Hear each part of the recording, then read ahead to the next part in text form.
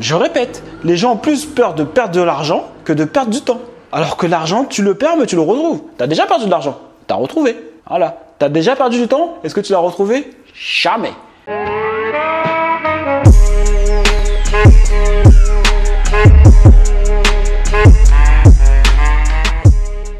Alors bonjour et bienvenue sur une nouvelle vidéo. J'espère les gars que vous allez bien depuis la dernière fois. N'hésite pas à t'abonner. Hein, tu connais, je sais pas pourquoi tu n'es pas encore abonné déjà. C'est quand même bizarre tout ça. N'hésite pas à mettre un j'aime si aimer cette vidéo. Je m'appelle Jonathan Hachi si jamais tu viens d'arriver sur la chaîne. L'idée de cette chaîne c'est quoi? C'est euh, de pouvoir te permettre d'être déterminé, passer à l'action, créer ton business en ligne, créer ta vie sur mesure et pour ça les gars il faut de l'oseille.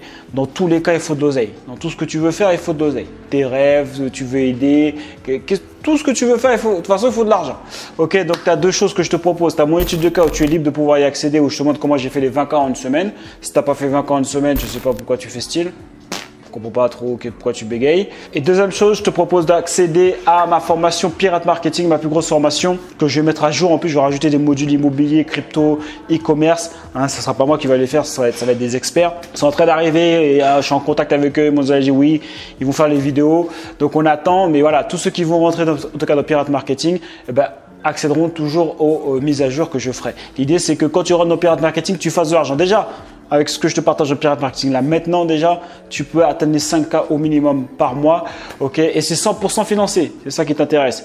ok? Donc tu as tout en description pour avoir toutes les informations. Tu pourras prendre un rendez-vous avec un membre de mon équipe où on te montre exactement, euh, on t'accompagne à, mettre ton dossier en place en fait. Et l'appel il est offert. Ok, donc euh, si tu sais pas c'est quoi le CPF ou si tu en as ou blablabla, tu peux prendre un rendez-vous, c'est offert. Ok. Euh, et pas les gars, pas d'excuses. J'ai grandi à Évry dans 91, j'ai redoublé mon BEP. J'ai grandi au quartier des Pyramides. on a arrêté de chialer, les gars. Juste passer à l'action. On n'a qu'une vie. Et passons directement au sujet de la vidéo. Cette chose que tout homme euh, devrait savoir. Alors, j'ai hésité entre, genre, cette chose que tout jeune homme devrait savoir. Mais je me suis aperçu qu'en fait, il y a des gars qui sont plus âgés, mais qui ne savent pas non plus que ce dont je vais te parler. Donc, j'ai envie de te dire, en vérité, c'est cette chose pour tout le monde, pour tous les hommes. Parce que des fois, on croit que comme les gars, ils sont plus âgés, ah ben du coup, ils sont plus sages, ils ont plus de sagesse. Ben non, pas forcément. Hein, je connais des gens euh, qui sont plus âgés, mais non, pas non, non, pas, pas forcément très pertinent ce qu'ils disent. Non, tu, te dis, tu te dis, ah, il y, a un truc qui s'est passé. Et puis en plus, ça a du sens parce que de toute façon, c'est simple. La sagesse, c'est quoi? C'est pas en fonction de l'âge. Hein. Moi, j'écoute des gens qui sont plus jeunes que moi. Les gars, ils ont plus d'expérience. en fait, la sagesse, ça vient de quoi? Ça vient de l'expérience. Pour avoir d'expérience, il faut passer à l'action. Si jamais dans ta, dans, tu, demandes à un gars qui est âgé, qui passe à l'action durant toute sa vie, bah, c'est sûr que ouais, il aura de la sagesse, il aura des choses à te donner des, choses qui vont t'aider, qui vont t'aiguiller. Mais un jeune qui est passé massivement à l'action, je sais pas moi, le gars depuis 16 ans, il passe massivement à l'action depuis de 16 ans à 25 ans, ça fait 10 ans qu'il passe à l'action tous les jours pour faire de l'argent, pour être une meilleure version de lui-même, etc. Euh, relations, comment se sociabiliser. Enfin, je veux dire, le gars, il, genre, il lit tous les livres, il, il, a des coachs, il pose des questions aux gens quand il a réussi dans les domaines qu'il veut réussir. Bah, le gars, il est sage. Voilà, donc c'est pas forcément lié à, l'âge. Donc voilà, ça c'était la petite, euh, petite introduction. Donc alors, ce que j'ai noté, et en plus je te dis c'est cette chose que tout, homme devrait savoir, mais en fait c'est ce que j'aurais voulu savoir quand j'étais beaucoup plus jeune, parce que comme tu sais le temps il est limité tonton, chaque seconde qui passe, tu ne peux plus jamais récupérer, et les gens ils sont là, ils font comme s'ils étaient éternels. Ils sont là, je sais pas, ils sont là, ils, brûlent leur temps, euh, ils sont là sur Netflix. Je dis pas qu'il faut pas regarder Netflix, mais quand tu passes toute ta journée à Netflix, tout, tout temps libre, tu fais que Netflix et tu comprends pas pourquoi ta vie elle change pas, et tu dis, ouais, je verrai demain, je verrai ça après. Ouais, ben, les gens ont plus, les gens ont plus peur de perdre de l'argent que de perdre du temps. Je répète, les gens ont plus peur de perdre de l'argent que de perdre du temps. Alors que l'argent, tu le perds, mais tu le retrouves. Tu as déjà perdu de l'argent. Tu as retrouvé. Voilà. Tu as déjà perdu du temps. Est-ce que tu l'as retrouvé? Jamais. voilà. Et ça, c'est. C'est comment dire C'est la compréhension de, de qu'est-ce qui a le plus de valeur. Hein, le, temps a plus de valeur. Bref, j'avais déjà fait une vidéo là-dessus, je pense, mais bref, passons euh, au premier point.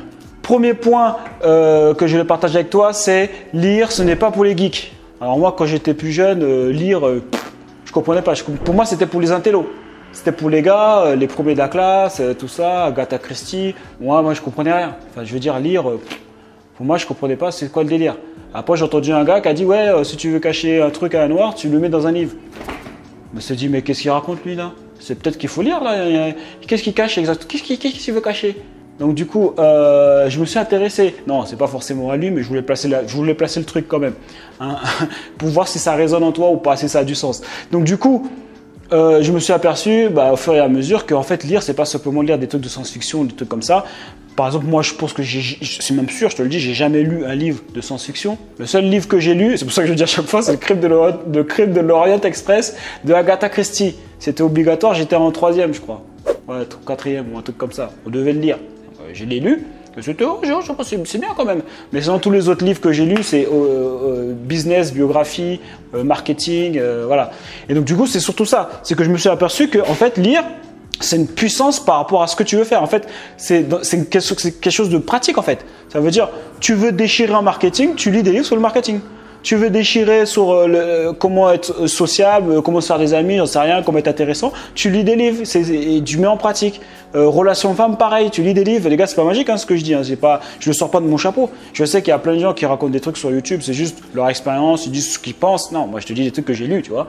Et donc du coup, à ce moment-là, et comment faire plus d'argent, évidemment, business en ligne, etc.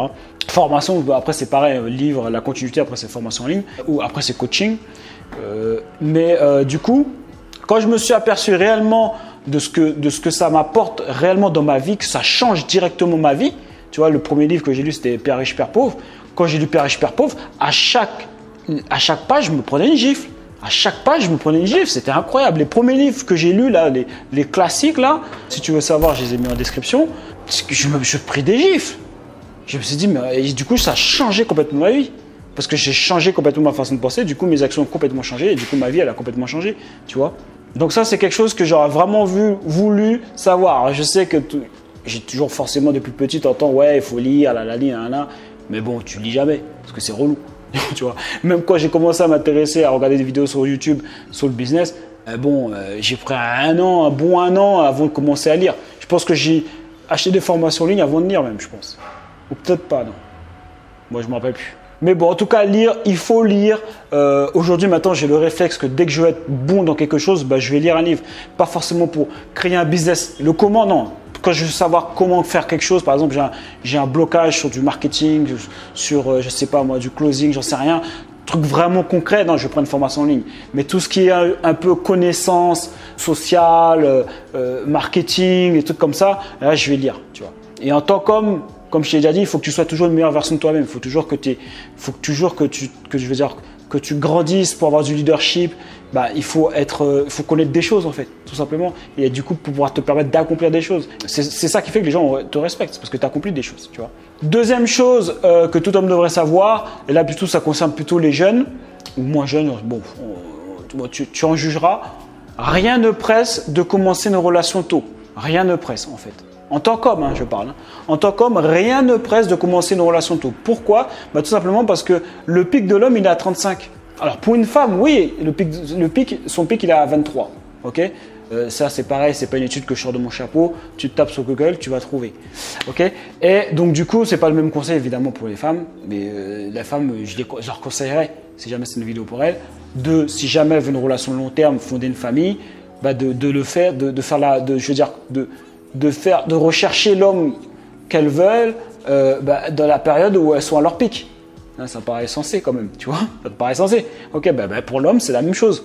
Pourquoi tu veux commencer à te poser avec une meuf quand t'es pas à ton pic? Vaut mieux être à ton pic. Tu feras le meilleur deal que tu peux, tu vois Et pourquoi tu feras Et pourquoi l'homme, il est son pic, il est à 35 ans? C'est tout simplement parce que il a besoin de, il a besoin de devenir quelqu'un en fait. Tu vois, à 35 ans, pourquoi il est à son pays? Parce qu'il est établi, il a une situation financière stable, etc. Tout ce, qui, que recherche une femme chez un homme, tu vois. C'est pour ça qu'il est à son pic. Donc du coup, c'est pour ça que j'avais fait une vidéo où je disais, restez célibataire, les gars. Restez d'abord célibataire. Pourquoi? Parce que il faut que vous vous construisez. Sinon, vous n'aurez pas de succès. En tout cas, tu ne feras pas le meilleur deal si jamais tu n'es pas construit. Tu vois, ça veut dire quoi construire? Ça veut dire qu'il faut que tu donnes une meilleure, version de toi-même, que tu crées un business ou que tu fasses plus d'argent, que tu aies plus de leadership, que tu sois, euh, que tu aies, que tu aies de l'ambition, que tu, que tu mettes, juste créer un business. Créer un business, ça prend du temps. Je t'ai dit, pour pouvoir avoir un business entre assis bien long terme, genre qui fait 10K au moins par mois, ça prend entre 2 et 5 ans. ok? Et après, si tu veux faire des millions, c'est à partir de 5 ans à 10 ans. Donc tu vois, il y a déjà 10 ans qu'on sautait. Si tu commences à 22, 23, 24, tu déjà, boum, 10 ans après, tu as 35 ans. Tu vois Donc, vaut mieux rester célibataire en tant qu'homme pour pouvoir travailler sur soi et pour pouvoir, du coup, euh, faire le meilleur deal que tu pourras faire. Après, évidemment, 35, il y en a peut-être qui vont arriver à réussir à avoir plus tôt, tu vois, ça, varie, tu vois, c'est une moyenne. Mais, en tout cas, rien ne presse en tant qu'homme quand tu es jeune là, toute ta vingtaine, rien ne te presse de t'opposer. Alors, je sais que personne ne va m'écouter, parce que je sais que ça te gratte en dessous. Hein, et donc, du coup, euh, tu te dis, bon, ben, vaut mieux que je me pose avec elle, au moins, euh, c'est garanti, euh, j'aurai du sexe normal. Ouais, mais bon, il y en a quand même qui se font carotte, parce qu'ils ont, ils ont sont mariés, et apparemment, ils n'ont pas de sexe, les gars. Ils ont une fois par mois. ça, c'est incroyable, ça. Bref, ça, c'est la petite parenthèse. Mais voilà, d'où l'idée de, ouais, rester célibataire, les gars, travailler sur vous. De toute façon, voilà, vous avez déjà compris ça parce que la vidéo était quand même euh, bien reçue. Euh, donc, euh, ça a été compris. Troisième chose que tout homme devrait savoir, c'est que la femme est hypergame. Ça, c'est un truc qu'on ne sait pas. On pense qu'on est dans le truc Disneyland, les dessins animés, tout ça. non, la femme elle est hypergame, donc hypergame si jamais c'est pas ce que pas ce que ça veut dire, c'est que la femme cherche toujours un homme qui est toujours plus que elle. Ça veut dire niveau social, statut social plus élevé, qui gagne plus d'argent, euh, qui soit plus fort, euh, etc. Pourquoi? Parce que la femme cherche la sécurité chez un homme, que ce soit émotionnel, financièrement euh, ou physique. Voilà, elle est attirée par ce genre d'hommes. Et c'est pour ça que tu verras que les gars qui ont un statut social élevé ou les gars qui ont de l'argent ben, attirent plus les femmes. Donc ça, c'est important à savoir. Ça rejoint un peu le point numéro 2 de pourquoi il ne faut pas te presser à te mettre dans une relation ou à te marier euh, tout simplement parce que ben, euh, la femme elle est hypergame. Donc si jamais tu es un gars moyen, ben, tu auras une femme moyenne en fait. Tu vois, donc après à toi de voir. après c'est cool si jamais tu rencontres l'âme sœur, j'en sais rien. Enfin, je, je crois pas forcément à l'âme sœur, mais si tu rencontres quelqu'un avec qui ça se passe bien et que du coup euh, c'est, ça veut dire, en fait c'est simple. Si jamais tu te dis, là je suis millionnaire, j'ai une Ferrari, je suis multimillionnaire, je suis vérifié sur Instagram, est-ce que je reste avec cette meuf-là? Est-ce que je date cette meuf-là? Est-ce que j'ai envie de me marier avec cette meuf-là? Si jamais la réponse est non, eh ben c'est que ça veut dire que c'est ben attends. c'est ça. Si la réponse elle est oui, eh ben reste avec elle. C'est cool, tu vois, ou, te marie-toi avec elle, etc. Avant, il n'y avait pas besoin de faire tout ça, mais aujourd'hui, euh, les choses ont changé. Comme j'en ai déjà parlé dans une vidéo, pourquoi ça va être de plus en plus dur pour les hommes. Avant, c'était pas comme ça. Maintenant, c'est comme ça. Enfin, quand je dis avant, c'était pas comme ça. La femme a toujours été hypergame. Mais c'est juste qu'avant, vu qu'elle ne travaillait pas, même si tu étais un gars normal, tu gagnais de l'argent, ben déjà, tu étais, déjà au-dessus, tu vois, au niveau statut social, etc. Mais maintenant qu'elles sont indépendantes, qu'elles gagnent de l'argent, ben, elles sont encore plus exigeantes. Tu vois, si toi tu, tu gagnes le, même salaire, elle va toujours vouloir plus, plus les réseaux sociaux, euh, lifestyle, euh, je vais aller à Dubaï, euh, machin. c'est la guerre. Quatrième chose que tout homme devrait savoir, qui ne fait pas forcément plaisir, mais qui la vérité, vaut mieux le savoir, c'est que en tant qu'homme, ta valeur est basée sur ce que tu as accompli dans ta vie. Tu peux regarder les gens que l'on respecte le plus, que l'on admire le plus, hein, ce sont les gens qui ont accompli des choses. C'est pas plus compliqué que ça. Tu peux le voir à ton petit niveau, de, ça peut être tes potes ou pas. Quels sont les, gars qui sont les plus admirés, les plus respectés, admirés par les femmes, euh, respectés par les hommes? Ben, C'est des gars qui font des choses que toi tu fais pas. Ça veut dire qu'ils accomplissent des choses, ils font des choses. Ok? Et après, quand tu vas au summum, euh, si tu, fais, tu prends des gars comme des Drake, bah, c'est des gars qui ont charbonné, qui font de la musique. En plus, ce sont un gros marché. La musique, ça intéresse tout le monde.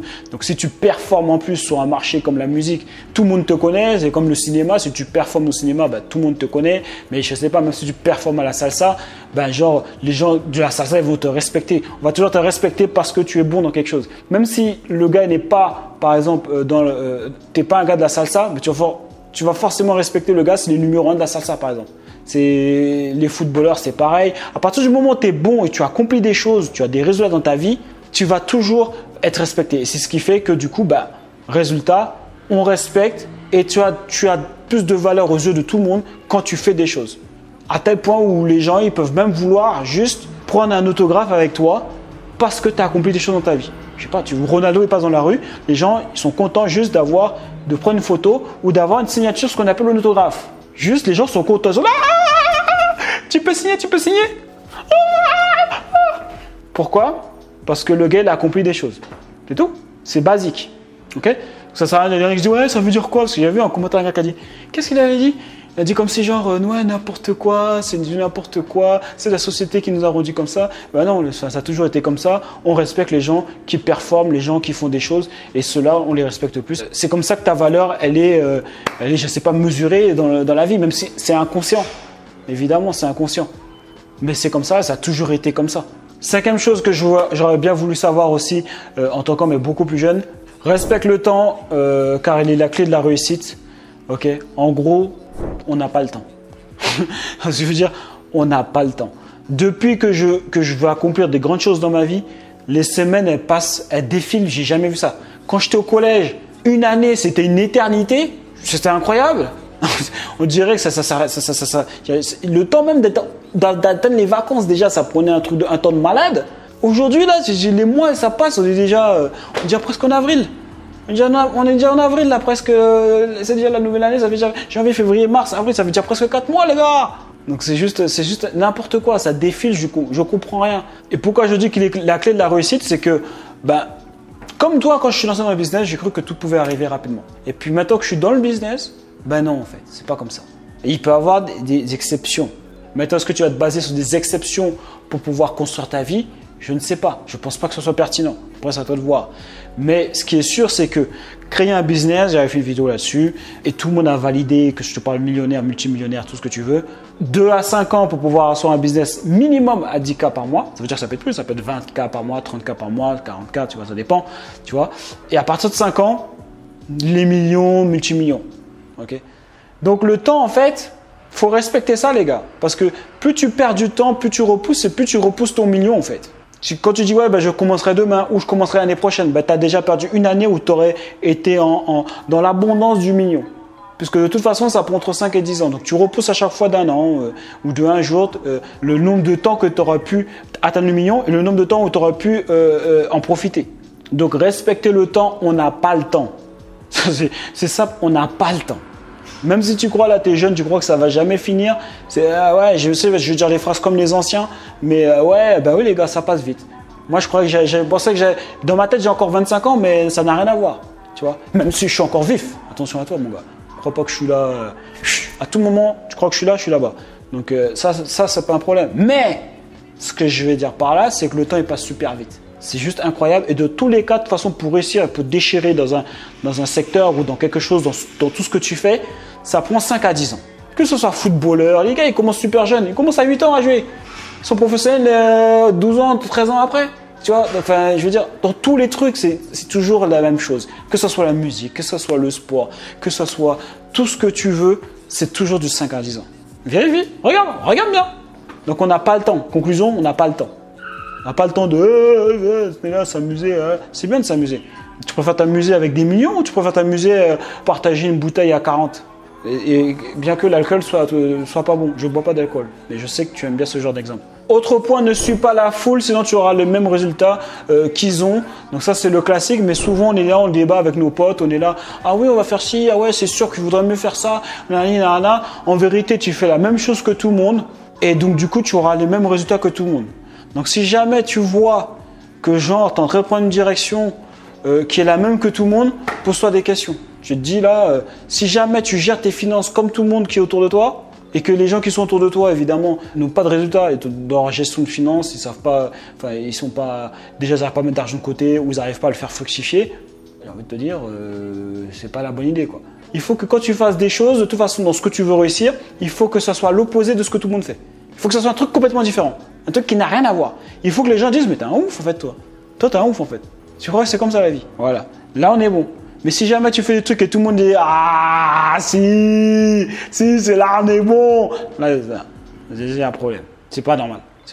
Tu faut que tu dises, ah, non, non, non. Vaut mieux que je dise une biographie, que je regarde dans un livre comment le gars est fait. Parce que je suis pas sûr que les gars là, non, on n'est pas bon. Et ça, ça marche pour tout, la musique, etc. Si j'avais, si su ça avant, putain, ça, la vie aurait été différente. Mais voilà, c'est comme ça. Euh, on s'adapte maintenant et on perd plus une seconde. Autre point, mets en place des croyances qui te permettent d'améliorer ta vie. Ça veut dire quoi? Ça veut dire que la vérité, on s'en bat les reins. Alors attention, tu sais que je suis un gars de la vérité et j'aime la vérité. Ce que je veux dire par là, c'est que quand il s'agit de tes croyances, au mieux de rentrer dans un débat avec des gens, est-ce que c'est vrai, est-ce que c'est pas vrai? Par exemple, les riches sont des salauds. Est-ce que c'est une croyance qui t'aide à devenir riche? Je ne pense pas. Est-ce qu'elle est vraie ou pas? Évidemment qu'elle n'est pas vraie, mais imaginons qu'elle était vraie. Vaut mieux que toi, tu aies une croyance de les riches sont des gens super gentils, agréables, avec une peau de velours. Parce que là, du coup, tu te dis, bah tiens, j'aimerais bien être euh, un homme riche et qui avoir une peau de velours. Parce que ça a l'air quand même euh, assez doux. Voilà, là on est bon, tu vois? Mais si jamais tu gardes l'autre croyance, qu'est-ce que ça fait? Tu te tires une balle dans le pied. Hein, parce que je te rappelle que les croyances, bah, du coup, c'est tes pensées, hein, les croyances que tu as, les, pensées. Tes pensées entraînent du coup tes actions et tes actions entraînent les résultats que tu as dans ta vie. Donc tout part de, dans la tête. Donc euh, choisis les croyances. Te pose pas la question est-ce que c'est vrai ou pas. Juste choisis la croyance qui te permettra d'avoir le résultat que tu veux. Ok Elon Musk il a dit on allait sur Mars. Il y en a qui vont dire c'est impossible. À un moment donné, il a commencé à faire décoller une fusée comme ça, elle a réatterri comme ça. Tout le monde a commencé à dire ah, peut-être qu'on va aller sur Mars, les gars. Voilà. Et pourquoi? Parce qu'il il a, gardé, il a pris une croyance qui lui permet d'accomplir ce, ce qu'il veut accomplir. Pareil sur Steve Jobs, croyance que voilà, on peut faire démarrer un ordinateur plus rapidement, etc. Enfin bref, voir le futur, tu vois. Parce que forcément, les croyances sont basées sur le passé. Ok? Donc du coup, inculquer que des croyances qui te permettent de tout défoncer dans la life et que ce soit vrai ou pas. De toute façon, tu vas le faire devenir vrai. Donc, euh, s'en fiche en fait. Alors évidemment, pas des croyances sur genre, ouais j'ai la croyance que je vais pouvoir sauver la, tour Eiffel. Hein, ou la croyance de ouais je suis un gars de la moyenne mais je vais pouvoir gérer euh, un agi modèle. Tu auras beau y croire, ça va pas fonctionner. Et après il y a quand même des choses, euh, des actions qui sont, que ça soit, comment dire, hein, c'est pas genre j'ai la croyance que je peux voler, je vais voler. Ah ben non, il y a la pesanteur. Tu vas t'éclater au sol. Tout ce qui va se passer. Hein? Ne me faites pas dire ce que j'ai pas dit. Autre point en tant qu'homme qui est super important, c'est décider de qui tu veux devenir. Ça, c'est la base. Il y en a qui galèrent encore, qui struggle encore jusqu'à. Euh, il y a des gens qui ils n'ont jamais su en fait. Ils sont, ils, ont, ils sont nés, ils, ont été à l'école, ils ont fait des études, ils ont travaillé toute leur vie. Ils sont, ils sont en retraite, morts. Ils n'ont jamais décidé de qui ils voulaient devenir. Ils ont été euh, ce que la société avait décidé. Voilà. Ce que tes parents ont décidé. Ce, que tes amis ont décidé que ça tu pourrais. Toi, tu es plus comme ça, toi. Toi, tu es plus plombier, toi. Toi, es... Moi, je respecte les plombiers. Attention, mon oncle est plombier. Donc, il n'y a aucun problème, les gars. Hein. Mais toi, toi, toi, je sens que tu es plombier, toi. Ouais. ouais. toi, je sens que. C'est comme moi, on va dire. Euh, toi, tu es plus manuel, toi. Troisième techno, quatrième techno, toi, tu es manuel. Alors qu'en fait, euh, rien à voir. Déjà parce que ça me saoule, même si j'étais électricien à un moment donné, ça, me fatigue en fait. Pas du tout, pas du tout. Je suis pas du tout. Euh, alors que j'ai un pote à moi, par exemple, qui est plus un gars, je crois qu'il a fait une licence, et plus combien de trucs, comptabilité, enfin un truc dans les bureaux là. Lui, il est dans les bureaux parce qu'on a dit que ça déchirait, mais à chaque fois que je le voyais, il était toujours en train de, toujours en train de construire des choses quoi. Hein, toujours en train de refaire des choses. Il est super habile manuellement en fait, c'est son truc, tu vois. Mais comme on a dit que c'était une voie de garage, il s'est jamais intéressé, alors qu'il aurait pu performer dans ce truc-là, peut-être créer son entreprise derrière, enfin tu vois ce que je veux dire, bref. Donc décide qui tu veux devenir et, non par rapport aux autres. ok? Et ça c'est vrai que c'est dur. Euh, Will Smith par exemple c'est ce qu'il a fait, il a décidé de qui il voulait, il voulait devenir euh, le movie star, ok? La, plus grande star euh, de film, de cinéma. C'est clair. Quand c'est clair comme ça, bah, tout ce que tu as à faire, bah, qu'est-ce qu'on fait maintenant? Comment on fait pour, comment on fait pour l'être? Et tes choix, tes décisions vont être liées à ça. Et donc, du coup, tu deviendras la personne que tu veux devenir. Donc après, je sais que c'est difficile de savoir exactement qui tu veux devenir, mais au moins déjà commence par, je sais pas, des balbutiements de, ce que tu, imagines que tu aimerais devenir, et, après, rien ne t'empêche de pivoter, ah ben finalement, je préfère plus être comme ça, etc., etc., tu vois. Mais super important de décider le plus tôt possible de qui tu veux devenir et passer à l'action par rapport à ça, d'avoir une direction. Pas être là dans la vie, on n'a qu'une vie, les gars, ils sont là, ils sont là et ils sont là en mode, euh, je sais pas, automatique. Ça marche en mode automatique euh, par rapport à ce que la société dit, euh, ce que tout le monde va là. Ah, tout le monde va là-bas Tout le monde, ah, tout le monde là-bas Ah, bah je vais là-bas aussi alors. Tu vois Non, les gars. Décide qui tu veux devenir et après tu vas t'organiser et tu t'organiseras après. Et dernier point que je pense que tout homme devrait savoir, j'aurais bien voulu que, je sais pas, avoir un daron ou quelqu'un qui me vienne et qui me dise ça, cette phrase-là, tu peux tout avoir dans la vie. En tant qu'homme, tu peux tout avoir dans la vie. Succès dans tes entreprises, entrepreneur, faire de l'argent, succès avec les femmes, être en santé, être en forme, etc. Ça va juste te prendre du temps, de la discipline et de la persévérance. Beaucoup d'échecs, mais au final, tu pourras avoir vraiment la vie que tu veux avoir.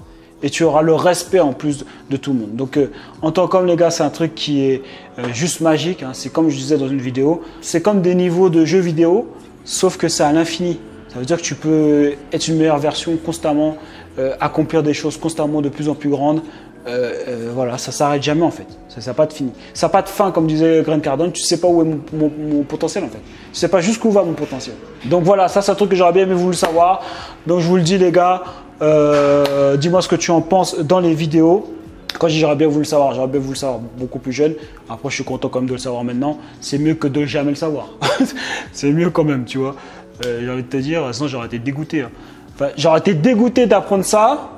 Genre, euh, genre j'ai déjà 60 ans ou genre euh, même 70 ans, tu vois. Ça, aurait été un petit peu relou, quoi. Hein? Je me serais adapté. Ça aurait été un peu relou. Plus tôt tu connais les choses, euh, mieux c'est. Et ceux qui regardent cette vidéo et qui genre ils font, ils regardent et ils font oh là j'avoue c'est pas bête ce qu'il dit hein, et qui continuent leur vie comme ça. Alors vous vous, c'est des pires. Oh là là là là, vous c'est des pires. Ça veut dire vous savez depuis longtemps. Et à vous vous allez regretter. Bref, euh, c'est tout pour cette vidéo. N'hésite pas à mettre un j'aime si jamais tu as aimé cette vidéo, un j'aime pas si jamais tu n'as pas aimé. Je te rappelle que tu es libre d'accéder à ma formation Pirate Marketing sans sortir un seul euro de ta poche, c'est 100% financé. Tu as tout en description, tu peux prendre un rendez-vous avec un membre de mon équipe. Le rendez-vous est offert. Pourquoi le rendez-vous? Bah, Pour poser toutes tes questions, si tu en as, et euh, savoir ça du CPF, et on t'accompagnera à monter le dossier avec toi, et, et après te donner les accès euh, à Pirate Marketing. Donc voilà, c'est tout pour cette vidéo, les gars, on lâche rien, et on reste déterminé. Il y a eux et il y a nous. Soyez ton camp.